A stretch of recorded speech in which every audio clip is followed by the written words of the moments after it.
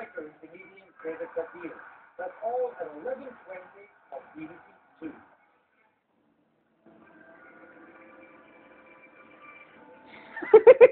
2.